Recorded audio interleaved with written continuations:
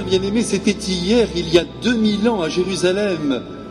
Dans une pièce située au premier étage d'une maison, douze hommes se tiennent serrés les uns contre les autres dans une même foi. Ils sont dépositaires de la vérité tout entière que le Christ, leur maître, leur a enseignée. Quelle responsabilité Ils savent qu'ils ont été choisis pour révéler au monde ce qu'est la destinée de l'homme, à savoir la vie éternelle qu'il attend. Ils détiennent donc les clés du royaume parce qu'ils connaissent aussi désormais les chemins du bien par lesquels il faut passer pour réussir sa vie et entrer dans son éternité. Cette mission, disons-le tout de suite, les dépasse, mais encore une fois, ils savent qu'ils ont été choisis par Dieu lui-même et par conséquent, ils ne pensent pas à faire demi-tour. Cependant, ils ont peur, peur de connaître le même sort que leur Christ. Au fond, ils ont peur de mourir comme tout homme bien équilibré.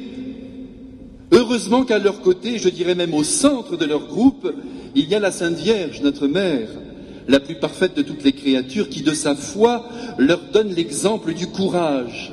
Et elle les soutient, croyez-moi, elle les oblige à ne pas écouter leur instinct qui les pousse au repli, à la peur, à la démission qui les guette. Et pourtant, depuis trois ans, ils ont été les témoins de grandes et renversantes choses qui auraient dû, qui auraient dû les rendre plus courageux. Eh bien non.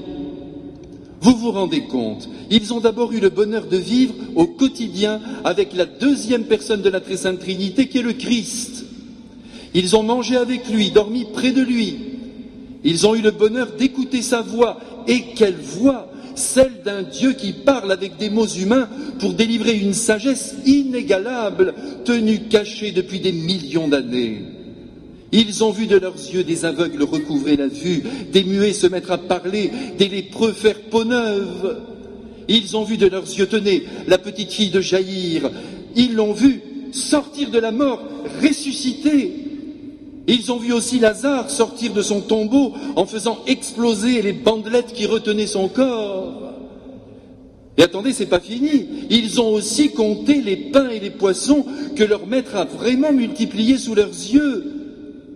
Et s'ils ont vécu de près son arrestation, s'ils ont assisté cette fois-ci de loin à sa crucifixion et aperçu Joseph d'Arimathie et Nicodème qui décrochaient du bois de la croix le cadavre du Christ, ils ont été éberlués en le revoyant le lendemain de sa mort, aussi vivant qu'eux, traversant les murs de la pièce où il se trouve aujourd'hui, leur présentant ses mains, ses pieds, son côté stigmatisé, les obligeant au fond à la foi et à la confiance. Et pendant les quarante jours qui vont suivre, vous le savez bien mes frères, mais c'est important de le rappeler, à plusieurs reprises, ils vont revoir leur Sauveur, ils vont avoir la joie de parler avec lui et même de partager avec lui un repas, un morceau de poisson, partagé ensemble sur le rivage du lac de Tibériade. C'est tout de même inouï. Eh bien mes frères, comme vous le constatez, malgré ces grandes grâces qu'ils ont reçues, les apôtres demeurent perclus de peur, inquiets quant à leur propre sort. C'est ainsi. En vérité, s'ils sont dans cet état, c'est parce qu'il leur manque une force qui, de l'intérieur, saisirait tout leur être. Et cette force, vous l'avez deviné, c'est le Saint-Esprit que Dieu le Père et Dieu le Fils vont leur envoyer au jour de la Pentecôte. Cette force, mes frères, c'est la troisième personne de la très sainte Trinité. Regardez-la maintenant descendre sur eux. Elle apparaît comme un feu qui à présent se partage en autant de flammes qu'il y a d'apôtres et qui se pose sur chacune de leurs têtes. Spectacle éblouissant. Mais ne vous y trompez pas, la suite nous le prouvera, ces flammes ne sont pas restées en suspension au-dessus de leurs têtes, elles sont descendues en eux elles ont mis le feu à tout leur être en traversant leurs facultés humaines d'intelligence, de volonté, de mémoire, d'imagination, en rejoignant aussi leur sensibilité et jusqu'à leurs pauvres os qui se sont retrouvés en un instant revigorés et disposés au combat et même à la mort s'il le fallait. Je vous rappelle, mes frères bien-aimés, comme vous l'avez entendu tout à l'heure, que juste avant la venue du Saint-Esprit en leur personne, un violent coup de vent a ébranlé la maison où il se trouvait. Détail important, car là nous comprenons que le Saint-Esprit est vraiment une sacrée force. C'est la force de Dieu, c'est sa puissance d'amour, capable de renouveler toute chose. Et la Sainte Vierge, qui elle était revêtue de l'Esprit Saint depuis sa conception, a dû se réjouir de voir les apôtres se transformer en une seconde sous ses yeux et passer en un instant de la crainte à la confiance, de la peur à l'audace, de la faiblesse à la force, de la tristesse à la joie la plus débordante et la plus démesurée. Et il me semble alors que comme un seul homme, les douze se sont alors précipités vers la porte pour l'ouvrir, peine perdue parce que la Sainte Vierge venait déjà de faire le travail sur un beau clin d'œil, et qu'ils se sont précipités dans la rue pour annoncer aux habitants de Jérusalem et à tous les étrangers qui se trouvaient dans la ville sainte le nom par lequel toute l'humanité est sauvée.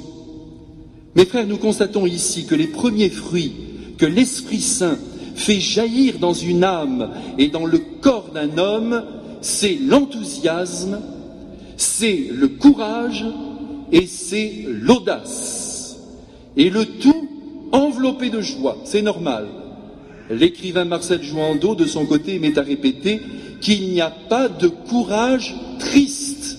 Et c'est bien vrai. En tout cas, pour les apôtres, finit la peur avec son œuvre de mort paralysant la moindre action.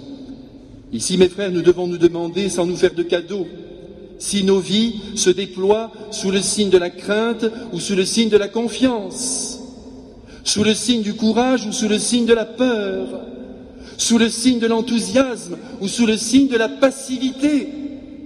Si vous répondez, c'est vrai malheureusement, je reconnais que je suis bourré de peur, que je m'inquiète pour un rien, que l'avenir m'effraie, que je ne cherche pas à entreprendre, que je me contente de ma petite existence limitée, que la joie n'est pas au rendez-vous, eh bien, je suis désolé, mais il faut alors reconnaître que l'Esprit de Dieu n'est pas actif en vous.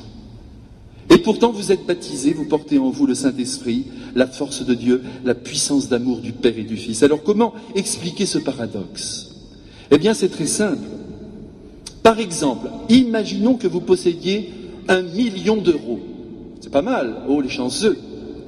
Et que vous me le donniez, tenez, pourquoi pas? Ça m'aiderait pour refaire l'église, je n'aurais plus à demander à la mairie quoi que ce soit. Bon, mais enfin, écoutez, imaginons que ce million, vous le gardez. Oui, vous le gardez, et il dort dans une banque, au fond d'un coffre, et donc vous n'en profitez pas. Ce million n'est donc pas source d'élan, source d'audace, source de joie, source de création, et pourtant, encore une fois, vous le possédez, mais vous n'en vivez pas. Eh bien, il en est peut-être de même avec le Saint-Esprit. Vous le possédez comme moi, mais vous n'en profitez peut-être pas. Et pourtant, depuis le jour béni de notre baptême et de notre confirmation, le Saint-Esprit ne demande qu'à agir en nous, qu'à soulever nos vies, à condition bien sûr que nous fassions corps avec lui, que nous croyions en son existence dans nos âmes et que nous l'appelions continuellement à la rescousse pour éclairer nos intelligences, pour doper notre volonté, pour booster notre audace et pour nous aider sur chaque instant de nos existences à opérer les bons choix et à vivre tout simplement selon la pensée de Dieu. Ici, mes frères, je crois devoir rappeler ce que vous savez bien, mais c'est important au jour de la Pentecôte, que Dieu veut que chacun de ses enfants donne le meilleur de lui-même et ne laisse inemployer aucune de ses potentialités. Et c'est pourquoi il nous donne le Saint-Esprit. Gare à celui qui s'endort sur son canapé. Gare à celui qui a peur de son ombre. Gare à celui qui calcule petit. Gare à celui qui protège ses petits acquis.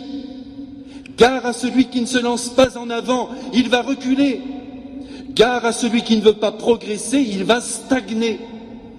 Et vive celui qui, sous le souffle du Saint-Esprit, déploiera ses ailes et réalisera des œuvres qui dépassent amplement les seules forces humaines.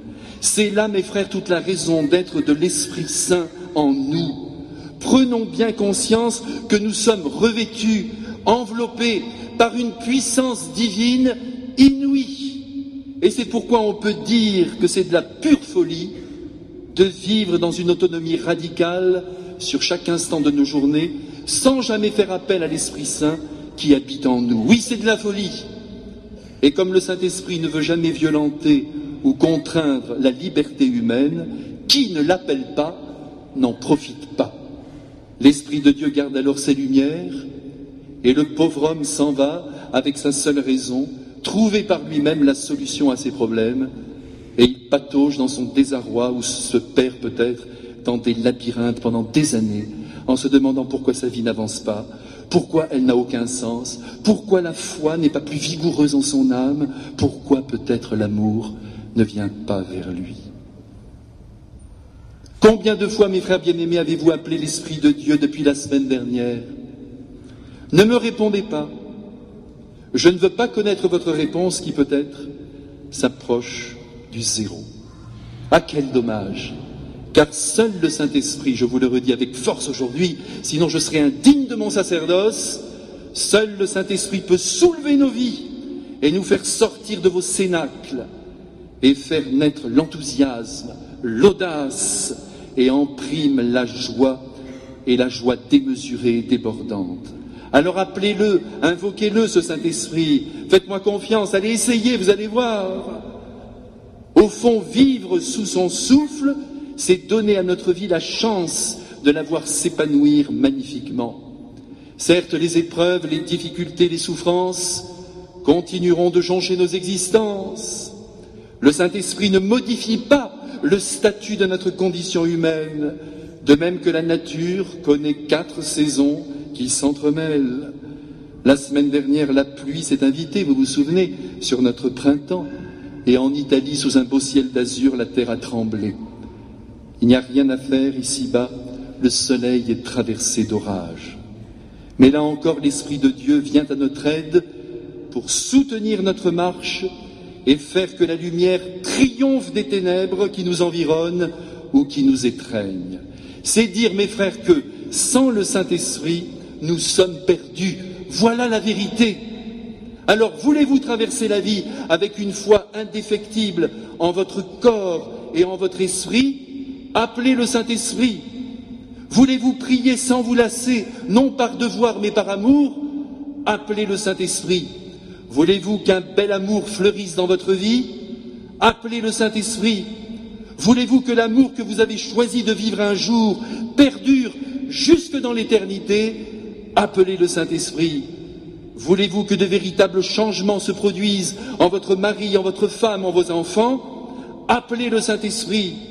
Voulez-vous connaître les joies de l'amitié sincère Appelez le Saint-Esprit. Voulez-vous supporter un handicap physique qui vous limite Appelez le Saint-Esprit. Voulez-vous assumer une douleur morale qui vous broie Appelez le Saint-Esprit. Voulez-vous supporter une maladie incurable qui vient de tomber sur votre tête Appelez le Saint-Esprit. Voulez-vous continuer de vous battre au milieu de vos combats les plus rudes sans jamais désespérer Appelez le Saint-Esprit. Voulez-vous marcher tranquille au milieu des contrariétés les plus quotidiennes Appelez le Saint-Esprit. Voulez-vous voir surgir d'heureuses surprises sur le chemin de votre vie professionnelle Appelez le Saint-Esprit. Voulez-vous ne jamais cesser de croire en un avenir meilleur malgré les coups durs de la vie Appelez le Saint-Esprit. Voulez-vous dominer la colère qui monte en vous face à l'injustice Appelez le Saint-Esprit. Voulez-vous croire en la vertu de l'humilité et mettre à mort l'orgueil qui est en vous? Appelez le Saint-Esprit. Voulez-vous considérer votre enfant handicapé comme une personne humaine et l'accompagner tout au long de sa vie, quoi qu'il vous en coûte? Appelez le Saint-Esprit.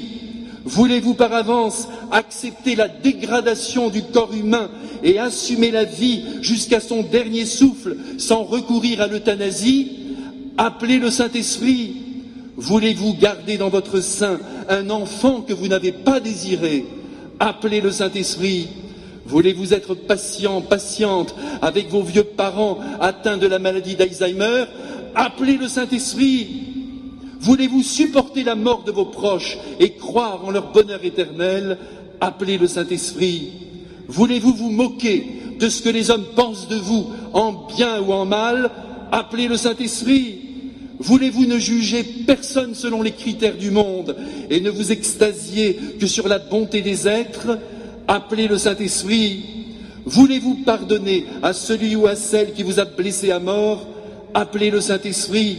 Voulez-vous ressembler à la petite Thérèse de l'enfant Jésus qui a souffert le sourire aux lèvres, la paix dans l'âme et la joie au cœur jusqu'au dernier instant de sa vie?